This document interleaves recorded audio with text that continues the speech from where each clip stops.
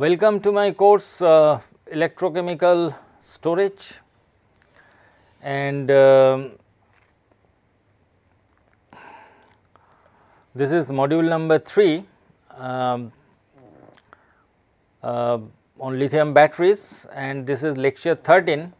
So, here uh, I will show um, what is the genesis of various types of voltage profile between uh, different types of electrode material. So far we have talked about intercalation material, alloy, conversion material. So, uh, do you get uh, similar type of pattern uh, voltage uh, versus lithium composition or you get different types of pattern and what are the genesis of that. So, we will again talk about the phase diagram from the free energy composition, uh, how they are related. Then we will estimate the voltage profile from free energy composition diagram. Then we will explain the theoretical aspects of the free energy composition diagram. Then uh, we will have certain case studies for the estimation of voltage profile for various electrode materials. And uh, finally, the differential capacity plot which I showed in one of the uh, my uh, earlier lectures, differential capacity plot the illustration of their usefulness that I will cover. So, we will start with uh, again the free energy um, composition diagram and uh, the phase diagram of uh, a binary component system. Uh, one is a pure component which is defined as A and another side is pure lithium. So, sometimes in some of my slide uh, instead of A I put X and uh, the right hand side is always lithium. So, lithium content increases here and it forms various types of uh, solid solution uh, and mixture of solid solution. So, if you go by this uh, particular red line uh, then you end up with the free energy versus lithium um, diagram like this which already I explained and if you go by this blue line then this kind of uh, free energy versus composition diagram one can uh, easily identify.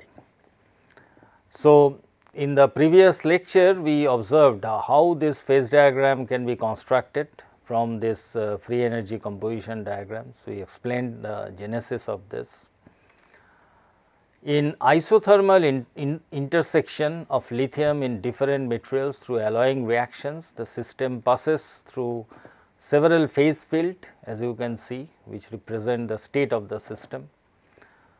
So, in continuation to this we will now establish how this alloying process result in the generation of cell potential and capacity. So, in earlier lecture we saw how lithium can alloy with pure element X. So, as I told in here I have uh, defined the left part as X uh, to form a lithium X binary alloys wherein the lithium distributed homogeneously in the alloy. So, remember the uh, diagram that I showed where lithium and this X component and sometimes I define as A. So, they are homogeneously distributed. This type of alloying reaction is called a solid solution alloying reactions, wherein this reaction is a single phase reaction. So, the free energy change due to mixing of the component with another to form a solution. So, I can have this uh, uh, G 1 in solution minus uh, this uh, G i in pure case and that is equated with RTLN into the activity. So, you suppose that n x mole of this x component is mixed with n Li moles of lithium to form this binary alloy. So, I am defining uh, this composition so, the free energy before mixing you can write with this equation where Nx and Gx and NLi and GLi is already defined and after mixing this is Nx Gx plus NLi GLi. So, this is after mixing. So, free energy change due to mixing is just this minus this. So, we will work out with Nx del Gx plus NLi del GLi simple calculations. Now, molar free energy change of the mix. Uh, so, that is n mole and divided by the total mole. So, that is the molar fraction. So, that RTLNAI uh, sorry AX plus mole fraction of Li RTLN activity of Li. So, if you consider an ideal solution where this activity uh, coefficient is 1, then this free energy mixing is RT into XX ln XX plus XLI ln XLI. So, the figure that uh, is shown here, uh, we can plot the free energy of mixing against the composition of lithium usually with the lithium composition it is shown. And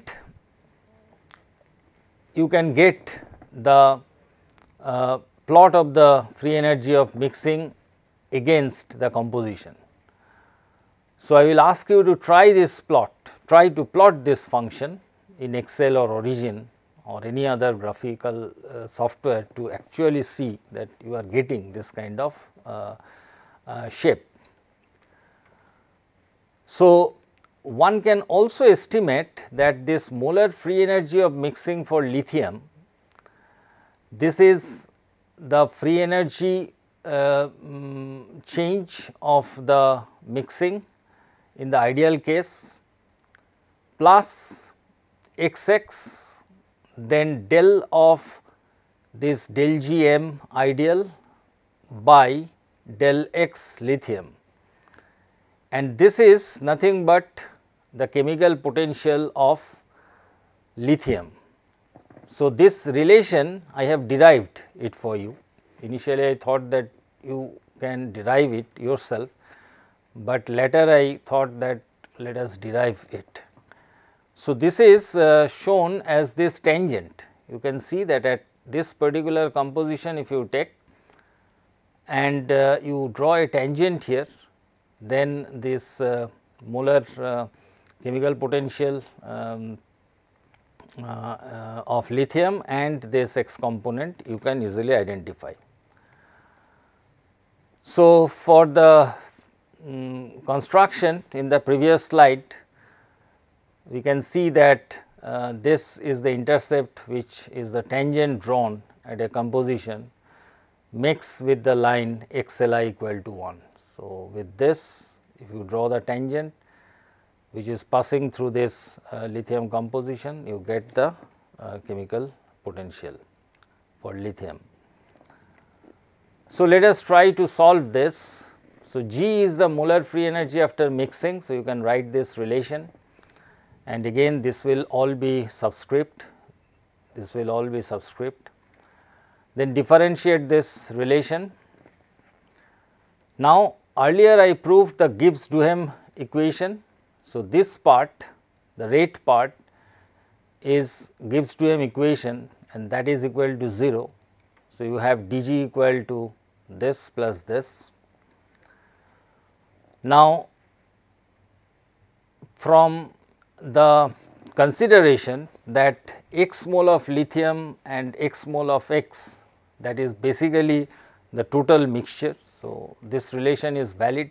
So, I can always differentiate this and then you put the value of dxx here replace it with minus dxli.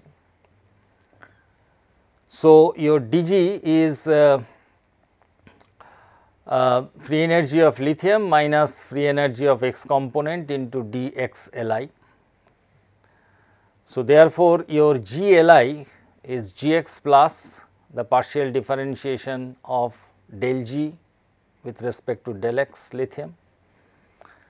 So, in this equation if you multiply both sides with xx then we get xx of GLI and here also xx of Gx and xx of del g by del xli. Then you add this term xli gli in both sides. So, you get this relation. So, that leads you to gli of x is g mix plus xx of del g by del xli. So, differentiation of this, this will give you this relation which is nothing but the tangent and that gives the uh, chemical potential for lithium in the solid solution phase. So, the cell potential with respect to lithium uh, redox couple uh, is a standard redox couple is related to chemical potential and this already we have uh, uh mm, talked about several times this relation. So, your lithium is here for uh, this particular composition if you take then draw a tangent here and uh, for uh, uh, pure lithium, pure lithium it is in this state, in this state. So, the difference you can get, this difference you can get and similarly, if you take this composition, here your lithium potential is here and uh, this one is uh, here again. Uh, so, this value if you take the lithium potential value uh, with respect to this 2 composition then the voltage certainly will get affected. So, we can see it diagrammatically here. So, here the difference is this and this. So, this difference is relatively small as compared to this difference uh, this difference which is much larger. So, when lithium composition is low then it is in this site uh, the higher potential site. When it is relatively higher then the potential drops down. So, it get it gets a S type of curve. So, you can apply that Gibbs phase rule which says the degree of freedom is number of component minus phase plus 2 so, this is solid solution type alloying reaction in single phase and involves two component.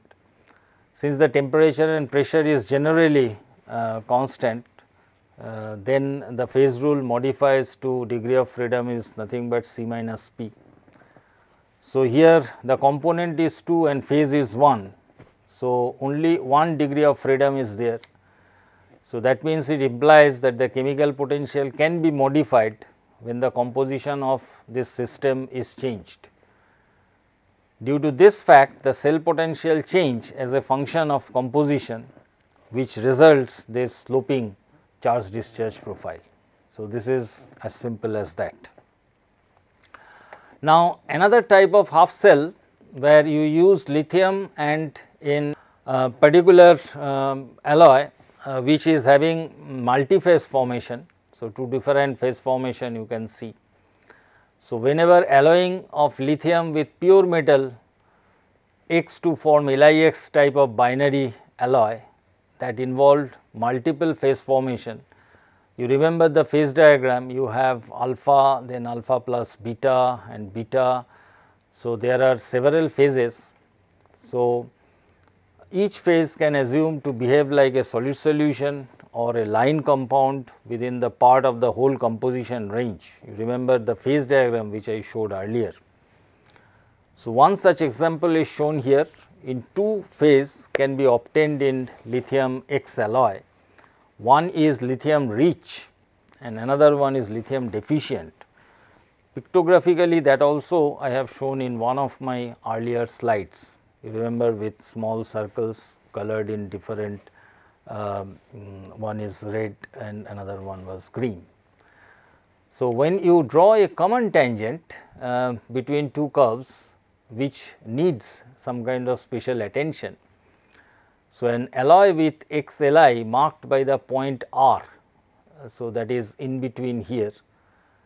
That will have the least free energy if it exists as a form of mixture of two phases marked as alpha and beta from the phase diagram. With being alpha is the phase of composition XLI marked by Q. So, this part and beta is the phase of composition XLI marked by S. So, this. So, the relative weight fraction of those two phase is such that the lithium mole fraction is the point which is marked by R that is from the standard phase diagram and applying the lever rule in it. So, the mole fraction of beta is given by q r this divided by the whole q s and mole fraction of alpha which is in this side that is given by r s divided by the whole q s. Now, the feature that is worth noting is that the chemical potential of lithium in the alloys remains the same in the common tangent right. So, the chemical potential will remain same here along with the common tangent. Therefore, the cell potential will not be dramatically affected. So, the cell potential is independent of this composition. So, in the common tangent region you can see that the cell potential will remain constant and if you apply phase rule here also. So, component and phase this 2 minus 2 is equal to 0. So, that means you cannot change anything. So, the with the composition of lithium your voltage will remain same, but when you have the single phase solid solution then as I showed earlier you will have this kind of drop. So, this is typical for multi-phase for the alloy which forms a multi-phase and therefore, you can correlate the free energy composition diagram with the voltage that is resulting from it. So, another type of half cell uh, where this alloy formation take place, this also I have defined in antimony and uh, lithium case. So, here the first plateau the reaction is lithium reacts with antimony to form Li2Sb which is given by this line. And the value of E that is minus del G formation of Li2Sb by 2F because 2 electrons are involved. And uh, this is uh, can be calculated. I will show it uh, that it will be uh, about 912 millivolt around uh, around that and for the second plateau whatever you are getting again it is a two phase mixture uh, this is given by this relation. So, uh, the formation free energy is uh, for Li3Sb minus formation of Li2Sb. So, that is this two component Li2Sb and Li3Sb. So, the voltage is 871 millivolt and this kind of step profile you will get in this type of alloy. Another example can be shown where it is a ternary kind of phase system. So, this is uh, already I have uh, explained how it forms. So, if you have lithium alloying uh, across this line then uh, for tin cadmium this binary alloy lithium will progressively form various types of alloying. Initially it will start to form with this cadmium will remain like this and then another voltage uh, which you can calculate back this two will form and then uh, these two phases will form which is apparent from this phase diagram. And for this type of multiple alloying reaction for this uh, mm, sol solution this intermetallics you will get this kind of uh, step profile. So, that you have different potential at which tin and cadmium alloy with lithium phases form from each component can be electrochemically active while the others are being inactive. The inactive phase can act as a mechanically strengthening agent as I have told that when lithium comes in then the volume expansion can be buffered by this metallic element. Uh, while the other phase that alloy with lithium. So, the, the presence of this uh, uh, metal uh, eventually at this stage at least it can uh, reduce the volume expansion and uh, uh, buffer the stress which is generated. In case of lithium graphite alloy formation, the simplest model that forming a solution um, that is the ideal solution that I described this relation. Uh, this is a bit modified. So, in real, real solution the free energy is never equal to the ideal case due to the variation in the activity with the composition. So, when carbon and lithium they form this kind of alloy, then it is not considered as an ideal solution. So, one can use another popular solution model which is termed as regular solution model, where uh, along with this um, you have uh, another term which is added and uh, this is actually defined by omega into molar fraction of x and lithium, x in this case is carbon. So, such free energy change is also results a two phase reaction which is prevalent in case of graphite as well. So, delta that uh, eventually some kind of uh, penalty term for mixing that uh, depends on the component which is involved.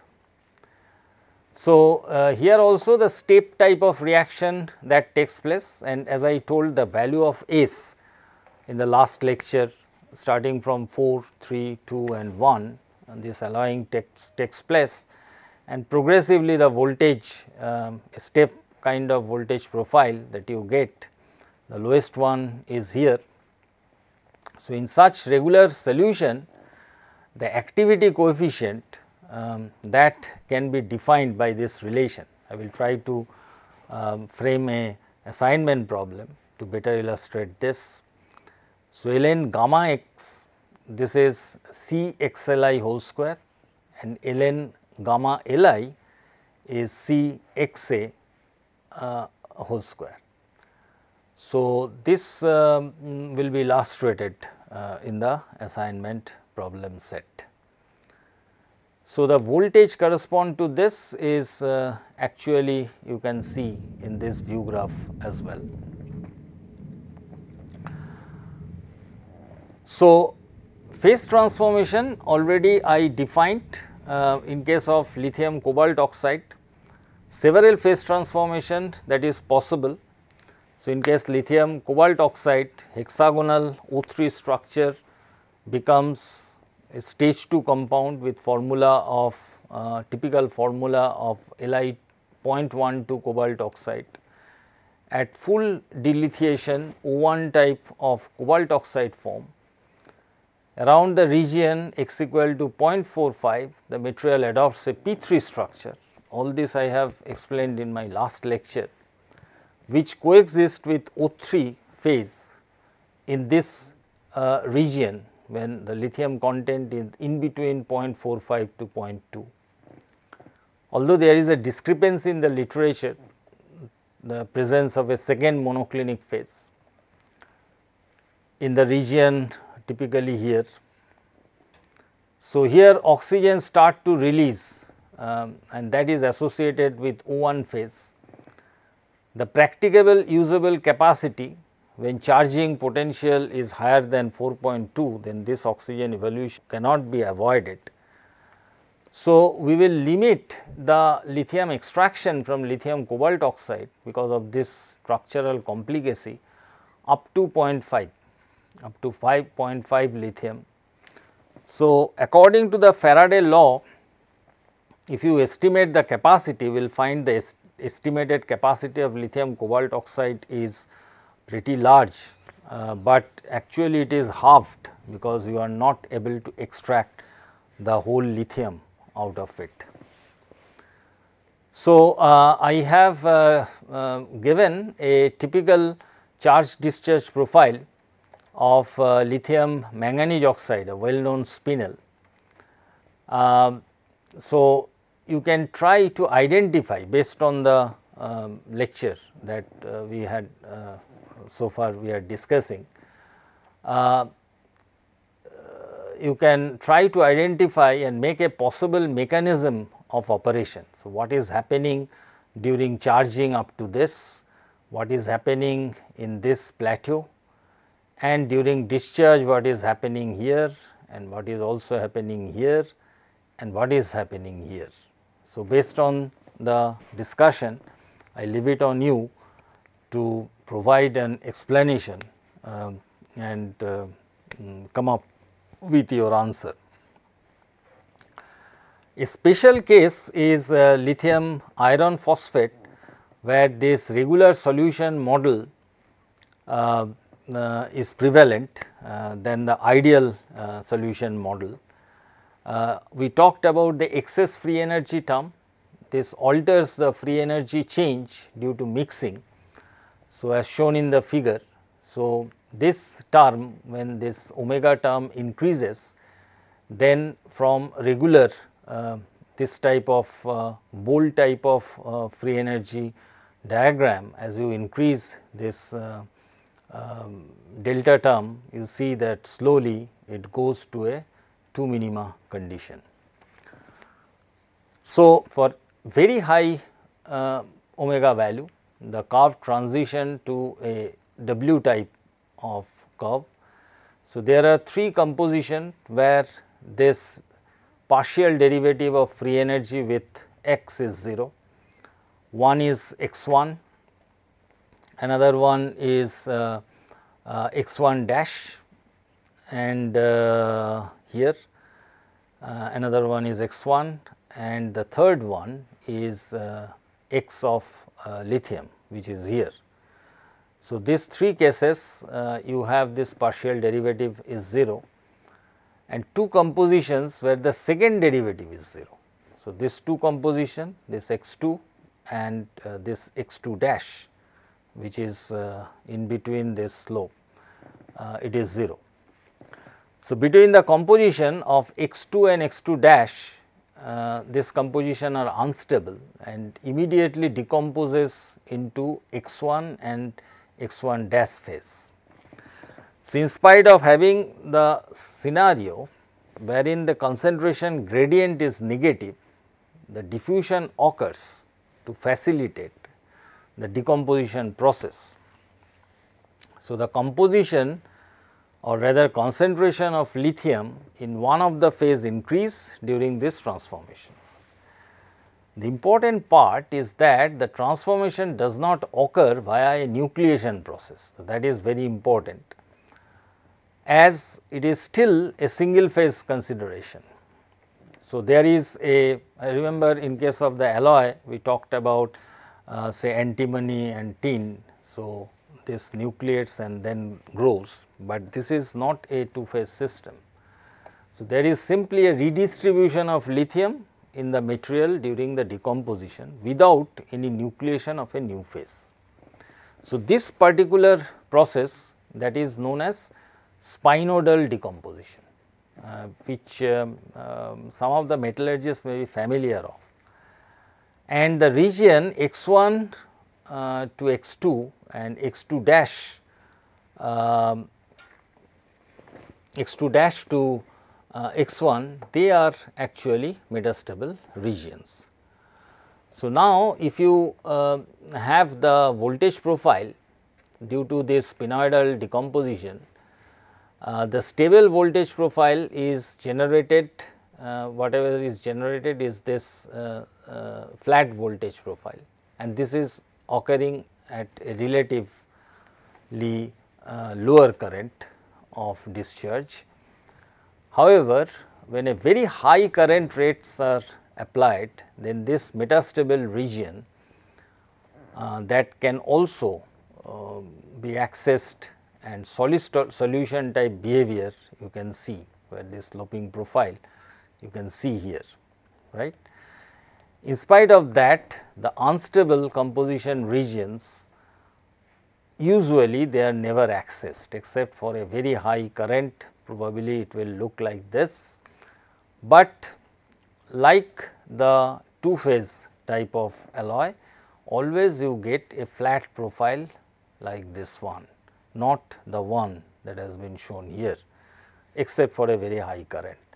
So, the mechanism of the these two things are very different, but the profile is more or less similar in nature.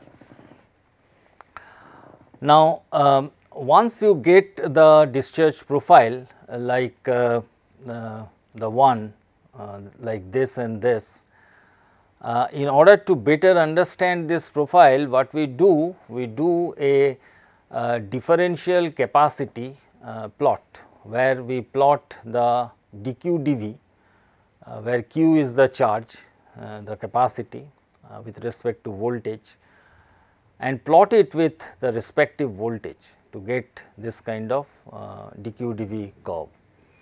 So, particularly for the step reaction for alloy uh, materials, uh, we do this thing and wherever the oxidation and reduction takes place, uh, uh this is this gives a very sharp because there is a change in slope. Uh, so, there is a very sharp mm, peak oxidation and reduction peak um, that is uh, observed and uh, schematically it is shown for uh, various compositions through the X-ray diffraction studies and each of this particular phase is identified whether indeed during oxidation and reduction this kind of uh, alloys are forming, you can stop your measurement right at that point and then this electrode you can uh, do the X-ray diffraction to identify the phase and then uh, indeed whether it is forming or not uh, that can be identified and at which voltage it is forming that also can be identified. So, this is a very useful technique uh, of differentiating the voltage profile. That results several peaks which are characteristics of the reaction that is occurring. So, one way to identify the mechanism of operation is to collect the X-ray diffraction pattern at those voltages to identify this phase which are formed in those voltage ranges. So, this above data, this data is uh, our own data on a uh, system tin antimony copper. Um, so, tin and antimony they indeed form uh, alloy with lithium and copper acts as a buffer layer. So, the stress uh, basically is buffered through the dislocation movement along the slip plane. So, uh, that is uh, I have cited as one of the examples. So, uh, again uh, there are two important publications that is the study material for this part of the work and um, this uh, uh, this two uh, papers will give you a more um, more insight about the topic covered. So, in this uh, particular lecture, uh, I have uh, um, demonstrated that how to obtain the phase diagram from free energy composition diagram, um, then how to get the voltage profile from free energy composition, then basis of the yield of free energy composition diagram and voltage profile. A theoretical illustration has been done and I will suggest you to do a line by line calculation uh, to estimate the straight line, the tangential line that gives you the estimation of mu of lithium and then point by point analysis of the free energy versus composition diagram to see the exact voltage profile in case of a single phase or at least binary phase um, electrode material. And then a case study of estimation of voltage profile of various electrode material. Uh, we will talk more on it uh, during the case study, the remaining two lectures, uh, solid solution type, phase mixture type, alloy type and the electrode which undergoes a spinodal decomposition. And finally, the illustration of the usefulness of differential capacity plot. Thank you for your attention.